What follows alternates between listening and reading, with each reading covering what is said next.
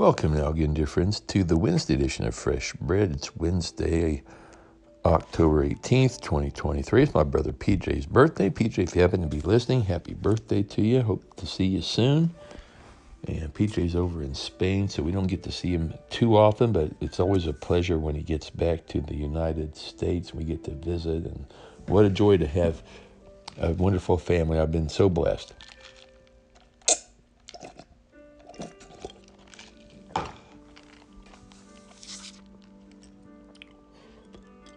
Got a little ice in my mouth, so bear with me.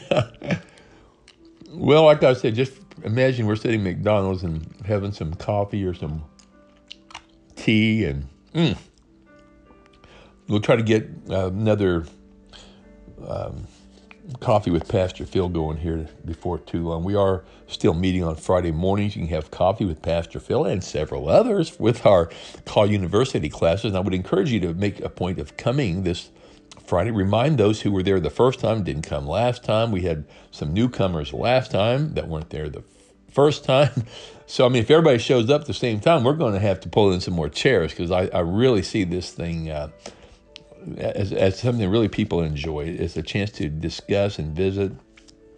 Remember, if you are going to come this week, I would ask you to go ahead and start reading in Hebrews, not necessarily in depth Bible study, but just read it, get an idea what it says.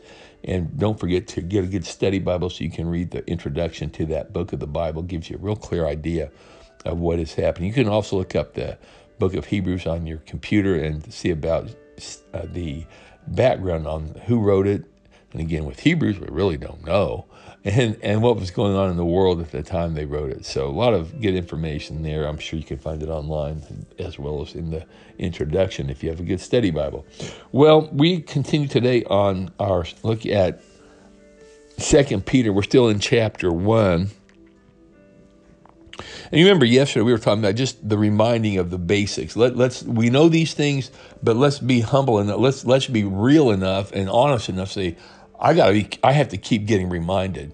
It is so easy, friends, to think we got it. It's so easy to think we understand it. We don't need to go back. It's beyond us. We already mastered that. We went to confirmation class. We got confirmed when we were 14 years old, and you know it's all downhill from there. We, we, me and God are really tight. You know, we understand each other.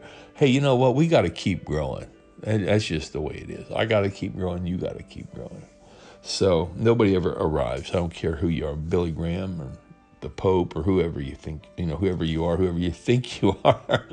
Nobody ever arrives. So that's not meant to burst your bubble. It's meant to say, look, we are on a journey. And, and like Paul said, I have not obtained everything yet, but one thing I do is I press on to the goal that's been set before me. Not looking back, looking forward.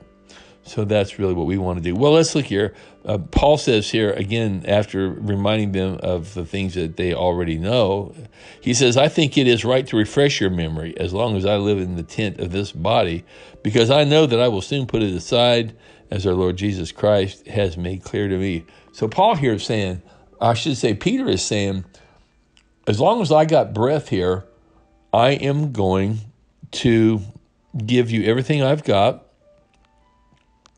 I will make every effort to see that after my departure, you will always be able to remember these things. So, so I like this because this this hits home to me as we look at the way churches do ministries and start up programs. And I think I'm going to stop there and bring on this thought tomorrow because I want to keep these to two or three minutes. So tomorrow, I tell you what we're going to talk about. So make sure you come back. I want to talk about how do we determine what we're doing in the church and why it's important. Well, why it's vital that the members have to get plugged in. And if the members don't do it, we just as well might not as well do it. So I'm going to talk about that tomorrow. We're going to take a little break from the Bible study because I want to I want to delve into that for a few minutes tomorrow. So come back on Thursday for more fresh. But until then, God bless you. Have a great Wednesday, and we'll talk to you tomorrow.